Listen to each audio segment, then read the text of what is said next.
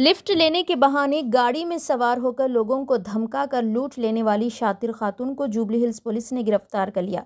Police के मुताबिक बत्तीस साल खातून सुल्ताना के खिलाफ एक शख्स ने शिकायत दर्ज करवाई, जिसके बाद इस खातून के खिलाफ कार्रवाई की गई। कार सवार शख्स ने अपनी शिकायत में कहा कि वो कार में जा रहा था कि के पार्क के पास एक खातून ने उससे लिफ्ट मांगी। शिकायत कुनिंदा ने बताया कि इसने खातून को लिफ्ट दी। कुछ दूर जाने के बाद खातून ने अपने कपड़े फाड़ लिए और इसे ब्लैकमेल करते हुए कहने लगी कि अगर वो उसे मुँह मांगी रकम नहीं देता है तो वह उसके खिलाफ इसमत रेजी की कोशिश का मुकदमा दर्ज करवाएगी।